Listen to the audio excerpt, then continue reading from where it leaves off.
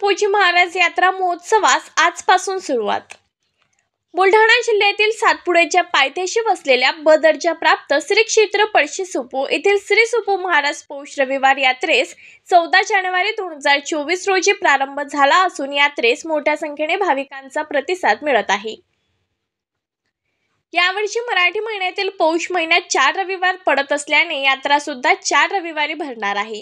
विदर्भाची पंढरी म्हणून ओळखल्या जाणाऱ्या शेगाव संस्थानानंतर जिल्ह्यात दुसऱ्या क्रमांकावर असलेल्या ब दर्जा प्राप्त तीर्थक्षेत्र पळशी सुपू येथे तीनशे पन्नास ते चारशे वर्षापूर्वीचे श्री सुपू महाराजांचे मंदिर आहे. येथे विदर्भ मराठवाडा खानदेशसह मध्य प्रदेशातून लाखो भाविक यात्रेनिमित्त दर्शनासाठी येतात. यावर्षी चौदा जानेवारी दोन हजार चोवीस रोजी पौष रविवारी या यात्रेस प्रारंभ झाला. श्री सुपू महाराज यात्रा महोत्सवास दिनांक चौदा जानेवारी दोन हजार चोवीस एकवीस जानेवारी दोन हजार चोवीस अठ्ठावीस जानेवारी दोन हजार चोवीस व चार फेब्रुवारी दोन हजार चोवीस रोजी येथे भव्य यात्रा भरणार आहे.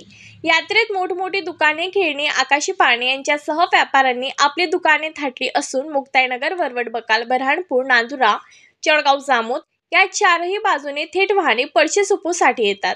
एस टी महामंडळाने ज्यादा बसेसची व्यवस्था केली आहे जळगाव जामोद पोलीस स्टेशनकडून कडक बंदोबस्त ठेवण्यात आला असून संस्थांकडून यात्रेकरूंना स्वच्छ पाणी स्नानगृहे शौचालय तसेच राहण्याची झोपण्याची मुबलक व्यवस्था करण्यात आली आहे.